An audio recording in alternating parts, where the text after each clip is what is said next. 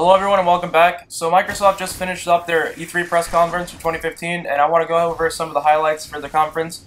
Now I'm not going to give you guys all the information on that, so if you guys want to just check out the entire conference, I'll leave a link to that in the description below, so go ahead and check that out. But if you're just here to see some highlights of pretty much the main stuff they went over, that's what I'm going to be going over in this video. So first off, Halo 5, they showed two new trailers for Halo 5 and they even released a new information about a new game mode in multiplayer where you're going to be able to verse AI and versus players at the same time. They also unveiled that the Xbox One will now be backwards compatible and you will also be able to play 360 on Xbox Live with all of your friends and Xbox 360 games will all be compatible on the Xbox One starting in the spring or starting now if you have Xbox at Premium Access.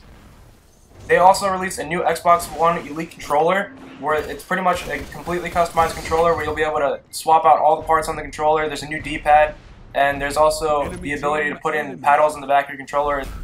They also unveiled that they will be releasing a new 1TB console, so no more worrying about space for games or anything. They finally released uh, some new Fallout 4 information, and it's also Fallout 4 exclusive content for Xbox, where all the PC mods that will be running on PC will also be available for free on Xbox One. So that's pretty cool. We've never seen anything like that before, but now we're going to be able to have mods on our consoles.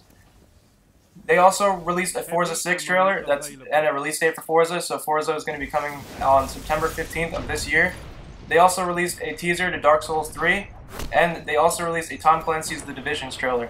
Now, also, they released that Tom Clancy Division will be coming first on Xbox this December. It's not an exclusive, but it will be coming first to Xbox. They also released the new Tomb Raider trailer, and it's called Rise of the Tomb Raider.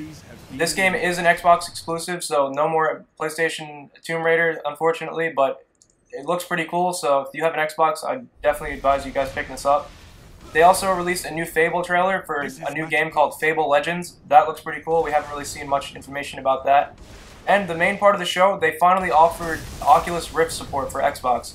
Now, this is a, if you don't know about Oculus Rift, it is a virtual reality headset that you put on and you can play all your games in virtual reality.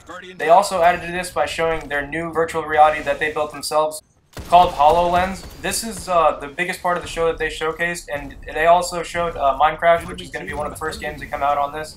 I'll leave some screenshots on the screen below of uh, some of the crazy features they have. You can actually project Minecraft onto the wall or onto a table.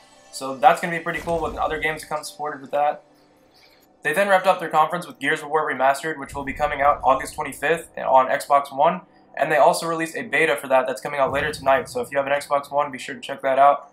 It's going to be free for everyone that has live, so go ahead and download that if you're interested in playing that. But that's pretty much it for the conference. It's the main stuff that they covered. If you want to see Sony's coverage later on today, I'll be uploading that as well. And check out my channel. I upload daily gaming videos, so be sure to subscribe.